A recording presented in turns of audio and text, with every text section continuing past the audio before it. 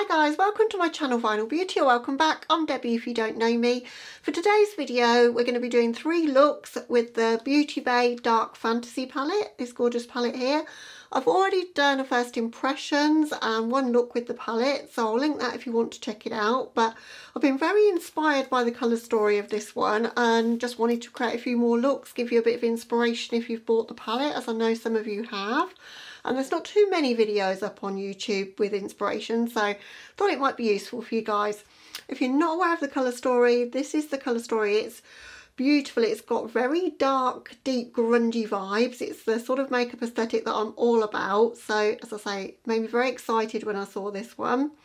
So let's just jump into it. I'm going to show you three looks and then we'll get back together at the end and I'll give you a review of the palette and let you know my final thoughts. I think I'll probably have used the majority of the shades, if not all of them, by the end of the three looks. So why don't we just jump straight into look number one. Okay, so on to the first look then with the Beauty Bay Dark Fantasy palette. Already primed my eyes with the Sigma eyeshadow base in Persuade and we're going to go with the purples today. Use the purples on my lower lash line in my first impressions but I want to make them the star of the show. So we're going to use these, we're going to intensify with black, maybe use this shade for a bit of sparkle and maybe a white inner corner highlight. So that's kind of what I'm feeling. But before we do that, I want to get some black in my waterline and on my lower lash line and smudge that out to kind of give us a a base there. Now I've put that in my waterline and onto my lower lash line a bit and I'm just smudging out with a Linda Hallberg 303. Just want a super intense black lower lash line but then blend it out with purple so pencils work great as a base for that particularly these LH Cosmetics Linda Hallberg ones. Next I'm going to go in with the purple, the shade Grunge here. Got a Sigma E38 and I'm going to pack that through my crease and quite high as well because I'm going to use the black lower than that so really want this to show above it. Probably will help to keep my eyes open doing this so that I can see where I want to go but I've got quite a lot of space between like my lids and my brows so for me this works well to take it up quite high a bit at a time so that we don't get too much fallout. But so far so good. This purple's a good purple. I like the tone of it. It's a grungy purple. It's not like a vibrant purple. Now I've got the intensity there that I want with this just fluffing around the edges a little bit and I might use a bit of the white to blend out further at the end but for a purple because purples are notoriously difficult to formulate and are never that great in my opinion. This is not too bad at all and I as I say really love the tone of it. I'm using a Morphe E36 I'm just going to take that onto the lower lash line as well. I'm using this brush because it's kind of fluffy but not like too big of a brush but I do want this to be a blended out look but I want to use this to pack first of all over that black base and sort of blend at the same time if that makes sense. And I'm making sure to link that in the outer corner but we're still keeping that rounded shape today. Not going to do a winged out look today. I'm not going to wear a wing I don't think Okay, keeping with the same brush that we started with, that's not got much product on now. Just using that just to further blend that out underneath. So we're really taking that down quite low and kind of bringing it out where my my blush is, you know, bringing it out towards my cheeks. And this is blending on itself really well. There's not very many blending shades in the palette, but I don't mind that as long as the shade will blend itself out and yeah, that's working really, really well I think. Really grungy, really pretty.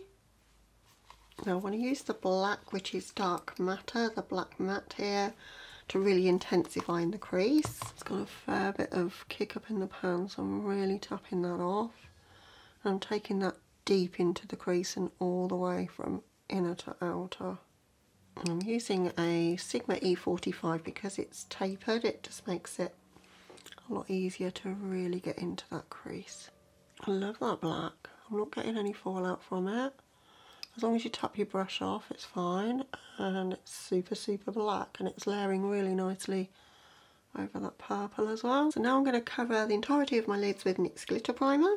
But I'm not looking to do anything like cut crease looking. Just want to give these shimmers a chance to not go all over my face because that's what happens with Beauty Bay shimmers for me if I'm not careful. So, but I use NYX Glitter Primer with a, pretty much every shimmer anyway. Put way too much on this eye. So we're going to go in with the shade Nightmare next. And that's going all over the lid. And that is a really pretty shimmer. This is more my kind of shimmer, like I said in my first impressions, like the putty shimmers are not my favourite. And the ones with too much glitter and sparkle. I know everyone loves those, but I hate getting the glitter and sparkle in my eyes. Whereas this is like a smooth, just, yeah, ordinary shimmer really. But it's more my kind of thing. Just going to swap to a bit bigger of a brush so that we can get this shimmer applied a bit quicker. So that's the purple shimmer applied, just want to re-intensify that black in the crease and where we've kind of gone up a little bit too high with the shimmer, that will hide that as well. Now to add a hint of sparkle, we're going to go in with the shade Hack and I'm just going to apply it with my fingers because that's the only way I can get these to work. But I only want to just pounce a little bit of sparkle over the top anyway, just to bring that purple shimmer to life a little bit. Just to give it that like wet look appearance. So I'm just pressing that on just everywhere we've put that shimmer really.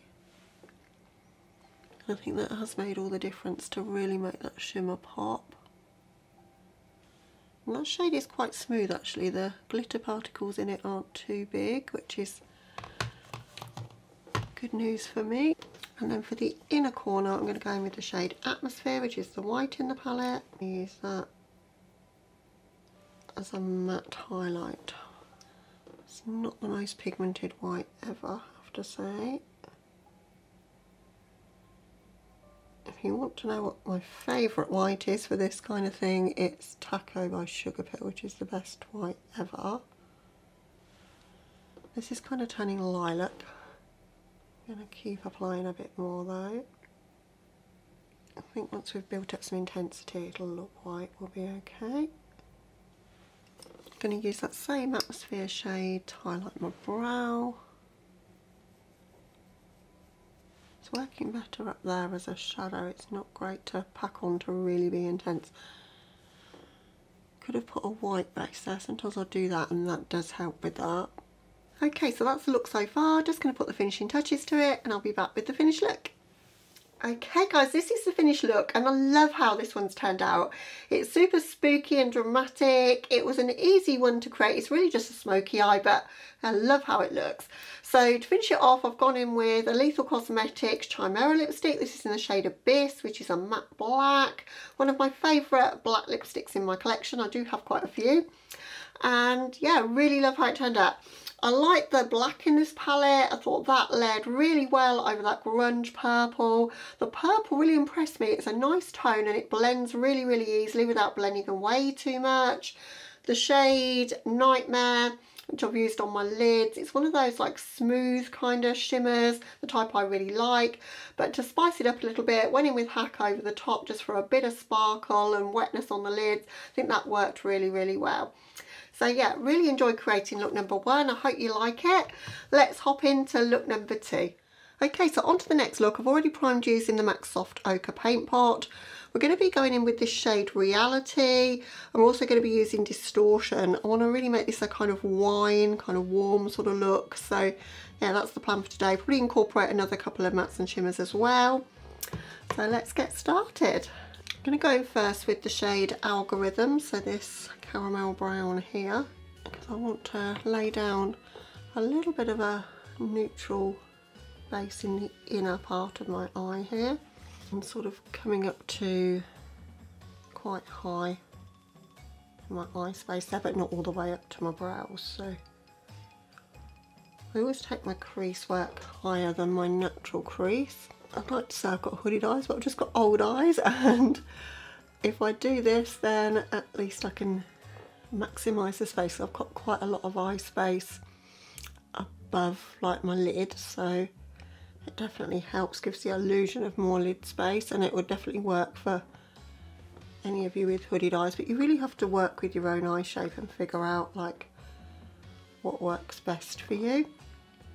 And that's laying down super easily, always with a neutral shade. They blend really easily and they're easy to work with I think, but I'm having no problems with that at all. Just take that over just a little bit more because I am going to join that up with the reality shade, the wine coloured matte, which I'm super excited to use. So then I'm going to take reality, I'm going to pack that in my outer corner and all the way across the crease. I'm going to go in a bit at a time and tap off my brush. These mattes are buildable and I think that's the easiest way if you prefer to do your face makeup before your eye makeup like I do. It's a beautiful tone though. I'm all about these sort of colours. Anything that's got a reddishness to it always suits my colouring I think and my complexion so I really like how well that's packing on. I'm not blending it yet, I'm just just packing and bringing it level-ish with the shade we've already laid down and then we're going to meet them in the middle once I've kind of got it where I want it. So now I can start bringing it through the crease a bit, going with a rounded shape again but I think I am going to put a wing through it so I want to bring it quite far out, quite high up so that the wing can kind of cut through it if that makes sense. Now I'm going to go in with a blending brush and just blend around the edges a bit. I'm really impressed with these Beauty Bay mattes as to how easily they blend on themselves and you don't really need a, a lighter colour to blend them out. So really want to maintain this pink in the look or the wine tone so I don't want to blend it out with anything else and happy to see it's blending itself quite well. Using a natural hairbrush because I think that also helps because they're a bit more scratchy. I'm going to go back in and re-intensify this outer corner now. I'm going to go in with Marvellous Cupid Arrow Stylo number 3, put that in my waterline and lower lash line. This makes a really good base and helps the shadows stay all day. I really love this product. And then I'm going to set that with the same shade we've been using, so the reality shade.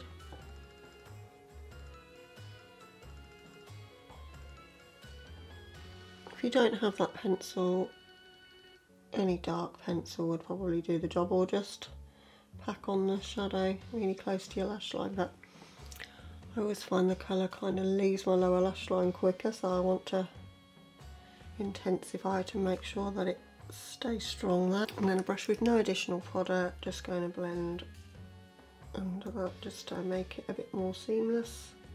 I'm blending all around the edges as well. Just where these two colours meet, the algorithm shade and reality shade, I'm just going to see if I can get a bit of a better blend there. I'm just dipping into both of the colours. Just a slight dip into each just to kind of make a mix of both of those colours. Okay, happy with that now. So I'm going to go in with NYX Glitter Primer and take that over the section that we've not got shadow on and slightly over the corner as well. Into the socket of my eye just above the eyeball. That works best for me if I want to really maximise the space on my lids. Now for the majority of my lid I'm going to go in with Distortion but also I want to use the shade Grime kind of at the cut at the front there. That makes sense as I do it. So I'm sort of angling that down as I go. That one's picked up really nicely on a sticky brush. It's got such a dark base to that. It's not super sparkly. I do really like it. I like the tone of it, I like how well it's picking up on the brush. This one's a, a good shadow in my book. And then for the bit of my lid that we've left here, I'm going to go in with the shade Grime here. That is a really pretty pewter silver. I'm going to trace out the kind of cut of my eye there. But then it will be fatter at the bottom here, so we're sort of laying it on a slant. Something along those lines. Think it's looking pretty. I'm going to wrap that around my lower lash line as well. I think that could work really nicely. I don't normally do this, but I'm going to pack a little bit of glitter glue here just to give that shadow a chance to adhere. And just wrap that around the lower lash line. Subtle, but it's sparkling in the light. Don't know if it's picking it up on camera, but it is. It's pretty. It's not kind of the most popping inner corner highlight ever, but I like the effect it's giving. Okay, that's the look to this point. Just going to hop off camera to do my wing. I have got a tutorial of how I do my wings. I'll link that down in the description box or up in the cards if you're interested how I do it. I'm just going to add mascara and a lip and I'll be back with you to show you the finished look. Okay guys, so this is the finished look for this one. Really happy with it. I think this is kind of my neutral kind of makeup for me. It's what I feel comfortable in. I really like these wineish kind of warm tones on myself. Really pretty, I think, on my complexion. And I love the shimmers that I used in this one. I didn't think I'd say that. So the shimmers aren't all equal in this palette. Some of them have got almost too much sparkle for me and too much glitter fall down. These were ultra smooth. They weren't too difficult to pick up on a brush either and yeah, I think they look really, really pretty. Really happy with it. To finish it off, I've gone in with uh, Illamasqua gel liner to make a wing. I've got the Supernatural mascara from Melt on my lashes. And then for lips, I've gone in with a NARS uh, Luster lip paint. I'm not sure they do these anymore. They do do lip paints, but I'm not sure if they do this shade anyway. This is in the shade Combat. It's one of my favourites in my collection. It's a little bit metallic, but not too much. And the lip paint formula just lasts forever. They're really, really good. They've got a staying power of about four or five hours, which is really important when you're using such a deep colour as this, I think, for it to last and to wear well, which these really do and I think it was just the perfect complement to the look to make it a monochromatic wine look which is what I was after. So yeah, really, really like this one. I think I prefer this one to the previous one, but I do like them both. You'll have to let me know what you think, but I hope you liked it and you enjoyed the tutorial. Let's move on to the next look. Okay, so for the third look, I want to use the blue because I've not used it yet. So that's the shade Hardcore here. Not really a blue eyeshadow lover, but I do like a deep, dark, kind of inky blue, so I think it's going to be fine. We're going to mix it with the shade Hoax here, the brown. Thought that could be fun. And I also want to use this duochrome here, which is a blue to purple shift, so that could be interesting as well and then I want to top off the look with this silver or put that in the inner corner. I'm not entirely sure how I'm going to make this work but I just want to do a bit of a cool colour combination so yes, that's what we're going to do for look number three. So I've already primed my eyes using the MAC Paint Pot in Soft Ochre and we're going to go straight into the shade Hoax here and put that through the crease. I'm going to take that from inner to outer and it doesn't matter if this goes on my lids because I'm going to cover that with shimmers anyway. I like this shade, it's uh, quite a cool tone brown which if I'm wearing neutrals, cool tones are my favourite. I'm going to take that from inner to outer as I say but probably just stopping kind of three quarters of the way across because I want this to sort of be a bit of a winged out look and I want the blue to be the the focus of like where it wings out. So the other brown shade in the palette Algorithm is a lot more warm tone than this. I think there's definitely a place for for both of these. I know if you're into colourful makeup you'd probably prefer not to see any neutrals but I quite like the addition of the neutrals. I think it gives us a bit more scope for for looks and you could just do a neutral look if you so desired. And as I say I do like cool tone neutrals more than warm tone neutrals I think. Although I wear all sorts of makeup from neutral to really colourful graphic to you know, classic sort of blown out looks, all sorts of things. So it doesn't worry me really. That's laying down nicely and I can see me using that shade again, as I say, just for a very simple look for work because it would work very well for that. So in this outer corner now, I want to go in with the blue, so we're going in with Hardcore, the navy blue in the palette. And I want to create a bit of a little winged out shape, but nothing crazy. So I'm just flicking that out a little bit whilst I pack that on. Probably only about that far. I don't want anything too too mad today. Those of you that have been here before know I do some big winged out looks sometimes, but I think that's enough today. And I'm going to take that onto my lower lash line as well, about two thirds of the way across.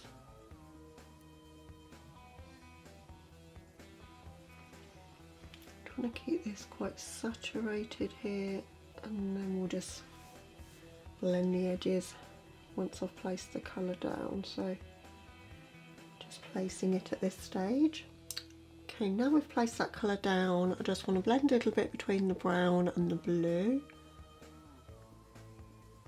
Really create quite a murky colour but this palette has got those sort of murky vibes so I don't mind that at all and I just want to soften and diffuse the edges here but as I say I don't want things to get too out of control in this outer corner so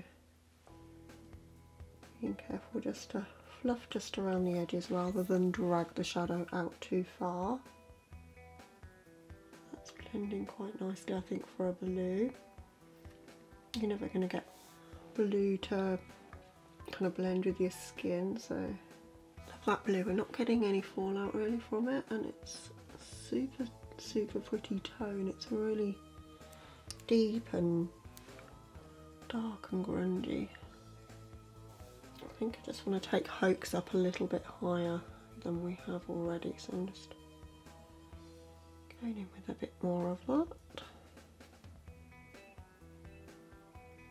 All about the drama when I've got my eyes open it doesn't look very high at all. When I've got them closed it looks quite high. Okay, I'm fairly happy with that. I like the shape and the way it's looking. So now I'm going to cover my lids, or the majority of the lids, with NYX Glitter Primer because we're going to go in with Source, that blue duochrome, and I'm going to blend it into Code, which is the silver. So first of all, we're picking up Source on this sticky brush that we've used for the NYX Glitter Primer. I'm laying that next to the blue shade, next to that hardcore shade in the corner. Mm, it's quite a grungy deep blue actually, now it's merged with those colours, but I kind of like the effect it's giving. Wasn't sure it'd work because I say it's got a bit of purple shift to it, but I don't think it's looking too bad at all. It's actually quite an interesting contrast to the brown. Taking that slightly on a diagonal but not as much as we did with the wine look.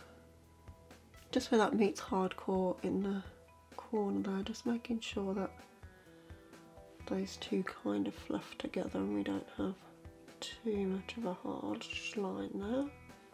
And then for the inner part of my lids, we're going in with the shade Code here, this silver just flip the brush over so that we're using the other side of the same brush. And just placing that next to that source shade. And where those meet I'm just tapping over the top just to help them flow from one to the other. It's a super metallic pretty shimmer though and there's not any glitter particles in it really for me to worry about so this is a Debbie kind of shimmer. Not having too much trouble picking it up on the brush either which is nice. The brush I'm using here is a Morphe M152 I thought something a little bit fluffier than I have been using might just help with you know to pick these shades up and it has done I think. But that looks super pretty and striking against that brown I think as well. It's making sure that's coming up high enough. On the lower lash line I'm going to go in with the shade Grunge and meet it up with this blue that's there. I just thought it would add a little pop of interest there. And I'm just going to use a pencil brush to apply that and just get it super close. And then for my inner corner highlight for this look I'm going to go in with the shade Hack and just pop that just in the corner there. Okay, so that's the look to this point. Just going to hop off camera for something my waterline, mascara and a lip and I'll be back with you with the finished look and to wrap up the video and give you my thoughts on the palette as a whole. Okay guys, so this is the finished look for look number three. Really like this one. I think this might be my favourite of the three actually, which surprises me because I don't normally like blue eyeshadow that much, but it's such a deep and grungy tone and then mixed with the brown I think it almost has made a neutral look in a way although it's still very striking. And I always love silver on the inner part of the lids. I think it really makes your eyes come to life. So really like this one. To finish it off I haven't gone in with a wing liner or anything like that because I've done a bit more of a winged out shape I've used Melt Supernatural Mascara on my lashes and then lips today are a Melt Matte Bullet Lipstick in the shade Old Fashioned because I thought the grungy tone of the lipstick really matched the grungy tone of that cool tone brown eyeshadow in the crease. So yeah, really like this one. But my thoughts on the palette then. Well I've had a lot of use out of it because I've done four looks altogether and I think I've used pretty much all the shades uh, except for the shade Virtual which is one of those sequin shadows that mattes with sparkles. We've already got a matte black and I just know these sparkles don't stay when you, you have a shadow like that so I didn't use that one. Don't feel the need to really. I think I might not have used transmission. I can't remember. I don't think I have but I think other than that I've used them all so the mattes, first of all, I know a lot of people say that they don't like the mattes because they're quite a thin formula and it's difficult to build them like several colours on top of one another.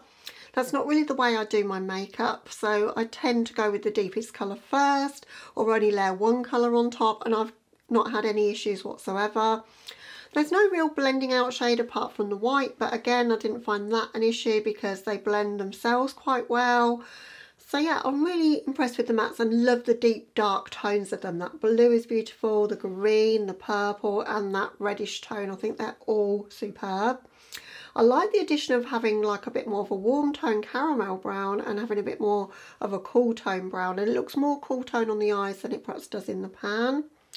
The greens as well, the two paler ones, they're completely different tones, so it's good to have them both in there, particularly in a palette that you might want to use at this time of the year and create Halloween looks because that shade Slime is perfect, or would be, to go all over the lids for a matte look with that grunge shade, the purple, is it called grunge? Yeah, grunge.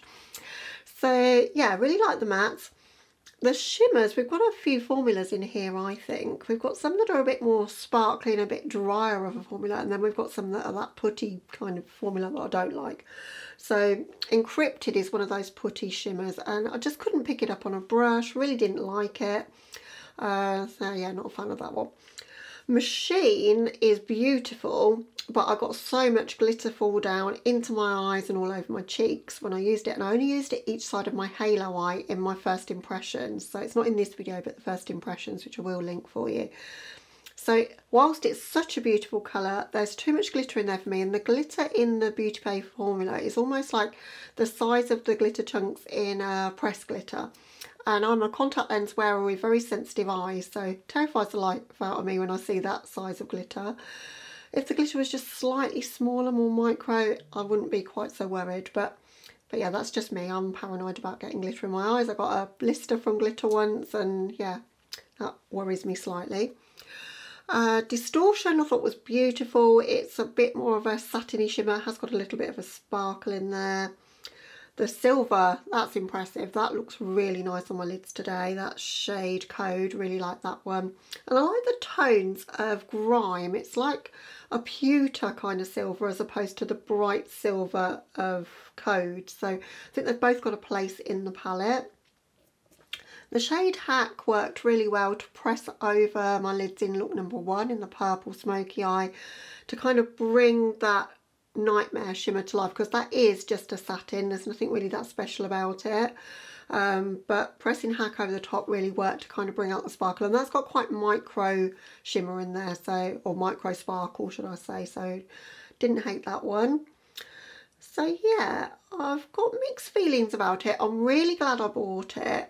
Is it the best quality palette in my collection? No but it was £15 and 20 shades of which probably about 10 of them I think I will reach for again. So I'm super happy with that. You know it's a bargain for the price and colour story like 10 out of 10 for me. Love the colour story so much. And the packaging is really nice as well.